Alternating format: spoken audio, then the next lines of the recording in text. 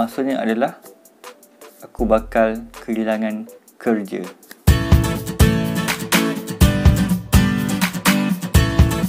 So hi guys, selamat datang ke YouTube channel Syah Rubio.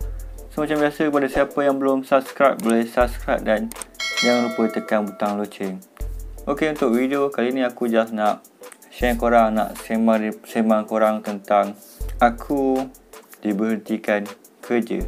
Okay, beberapa hari lepas uh, aku telah dapat email daripada HQ yang menyatakan kedai tempat aku kerja ni bakal ditutup dalam masa terdekat. So, maksudnya adalah aku bakal kehilangan kerja. So, tipulah kan, tak sedih. Sebab aku kerja kat kedai tu since dari opening sampailah kedai tu nak tutup. Which is 3 tahun. So, aku sedih bukan sebab aku bakal kehilangan kerja tapi aku just sedih mungkin maybe sentimental value kot. Aku tak sangka yang kedai tu akan ditutup tapi the reason kedai tutup pun aku rasa korang pun dah boleh agak dah boleh faham kot sebab apa the reason paling besar adalah this pandemic di covid apa semua so company tak boleh nak cover cost overhead expenses apa semua ditambah dengan sebelum covid lagi ekonomi agak slow kuasa membeli pun agak slow so benda tu semua mempengaruhi jualan dan uh, sustainability company tersebut lah.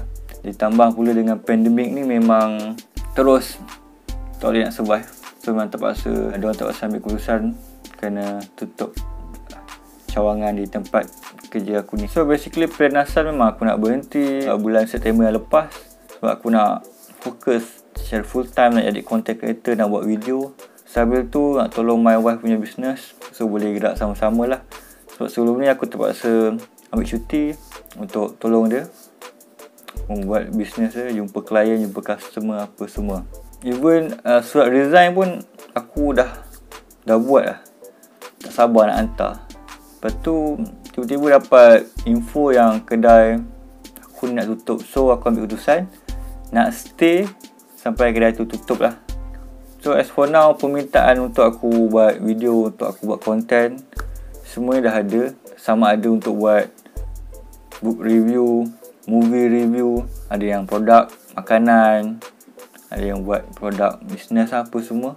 Dah ada. Cuma sekarang aku limitkan benda tu.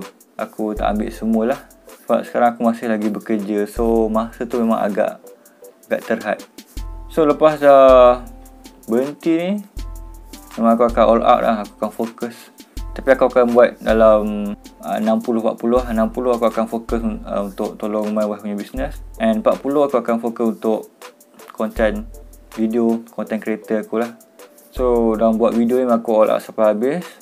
Since my target aku nak hasilkan 1000 video dalam channel youtube aku juga konsisten upload di 4 platform utama iaitu youtube facebook instagram uh, dan TikTok. So sebenarnya aku happy uh, nak berhenti ni sebab aku boleh buat apa yang aku suka. Bisa buat video secara full time tanpa perlu ada limit masa lah. Sebelum ni memang tunggu nak balik kerja baru buat tu kadang memang penat gila rasa tapi aku buat agak. So lepas ni aku dah boleh start buat jadual bila nak brainwash untuk content tu nak nak shooting, nak edit, nak upload. So maybe lepas ni akan more systematic lah. Tak macam sekarang aku sekarang main post je, tak ikut waktu apa semua. So lepas ni maybe akan ada jadual yang systematic dan aku perlu berdisiplin lah untuk masa konten. Tapi tipu aku tak takut sebab sebenarnya aku just jadikan uh, video buat video ni sebagai side hustle sebagai geli-geli sebagai part time sekarang jadi full time hustle. Tak sure betul ke tak apa aku buat ni tapi itu adalah perasaan normal sebagai seorang manusia. So aku pun tak apa lari.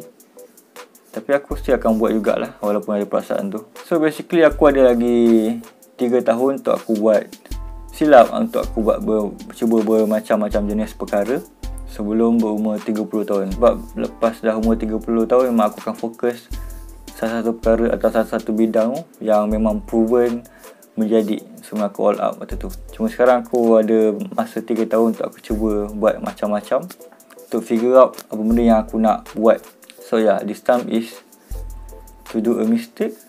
If tak okay Boleh cuba balik Atau boleh adjust semula Sampai jadi So guys, aku rasa itu saja untuk video kali ni. Video tentang Aku Diberhentikan kerja.